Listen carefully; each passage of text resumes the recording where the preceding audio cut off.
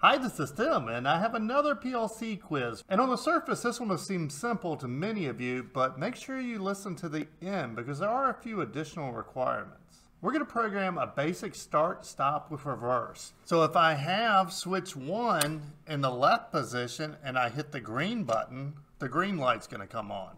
I hit the red button, the green light's going to go off.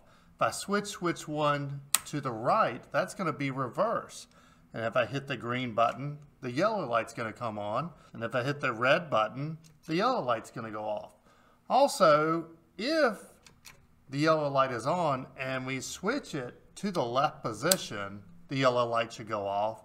And if the green light is on and we switch it to the right position, the green light should go off. Now for the challenge. I was discouraged by the number of replies I received to the last PLC quiz stating that you should do it in this programming language and then every other programming language stinks.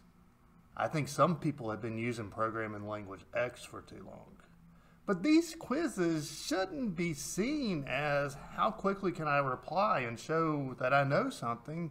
They should be seen as a way to stretch our knowledge. So I have configured switch 4 to do this in three different languages. So with switch 4 in the left position, this works in ladder. With switch 4 in the middle position, it works in function blocks. And with switch 4 in the right position, it works in structured text. Now for my most experienced users, there's still one more challenge, but I want to talk to the beginners before we go any further. Is if you just saw what I did and like, nope, I can't get there, Remember that the point of this is to stretch your knowledge. So if you're coming at this and don't even know how to program a start stop, if you come out of this knowing how to program a start stop, then you've gained. If you knew how to do a start stop but didn't know how to do a reverse, then you've gained. If you thought there was only one programming language in your software and you find out that there's another one, then you've gained. So in this case, I'm using Studio 5000 and a Compact CompactLogix PLC. And it has ladder, function blocks, and structured text. Also, if you're using connected components, you do have these three languages, but we haven't done any lessons on how to execute code based off a switch position. So extra kudos if you figured that out. Now there's one more hitch to this. Depending on how you programmed it, when you have the green light on and you switch switch 4, it's either going to stay on or it's going to go to the previous program state.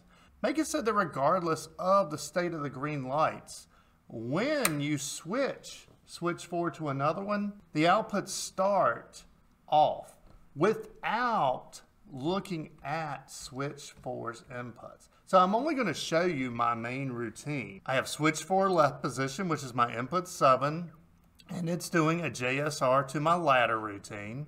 And then if I don't see my left position or my right position, which are input 7 or input 8, I assume I'm in the center position and we execute our function block routine. And finally, if switch 4 is in the right position, which is input 8, we execute the structured text routine. In fact, if I cross-reference switch 7, which is our left position, you're going to see it's only used in the main routine. And same with switch 8 it's only used in the main routine. So this presents a really good exercise in program flow. And I've got to be honest, I'm not completely happy with my solution for this. I'll be really interested to see what you come up with. I hope this will be a fun way for you to build your programming skills, and I look forward to seeing your well thought out solutions. Now, if you post something just to show up in the activity feed, then I may have to embarrass you. Oh, and one other thing.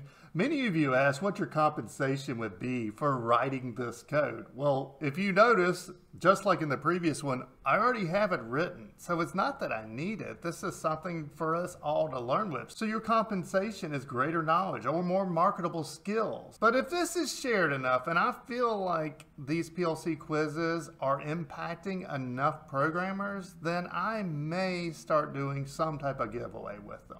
Till next time.